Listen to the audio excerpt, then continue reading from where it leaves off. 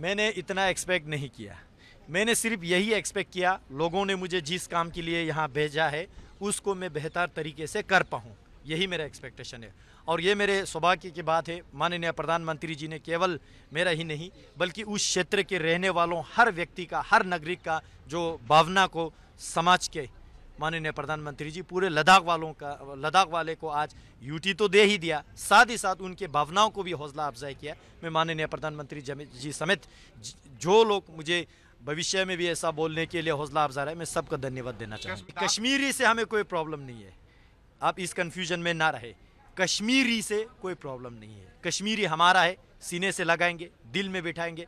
लेकिन कश्मीर में बैठे हुए कुछ लोग जो ये गड़बड़ कर रहा है, अपने रोजी रोटी सेंकने की कोशिश कर रहे हैं। कुछ दो परिवार लोग, उनको हम अपने नेता कभी नहीं मानेंगे।